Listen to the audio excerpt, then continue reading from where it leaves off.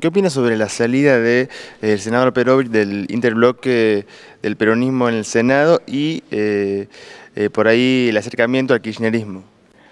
Bueno, la verdad que yo del senador ya no quiero opinar absolutamente nada porque ya el senador no pertenece a nuestro partido.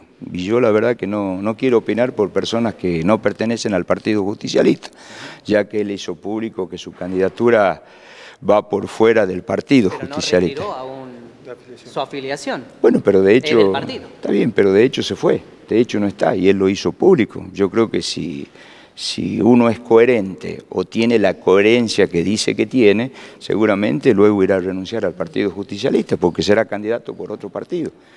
Lo mismo, quien hoy, pide, quien hoy preside el Partido Justicialista, que nosotros le hemos dado licencia, yo creo que más que licencia tendría que presentar la renuncia, porque si su esposo ya va por otro partido, por otro espacio político, pregunto, ¿no puede estar el esposo candidato por otro partido y la señora presidiendo el Partido Justicialista. Algo no está bien, algo no funciona, algo está sonando incoherente.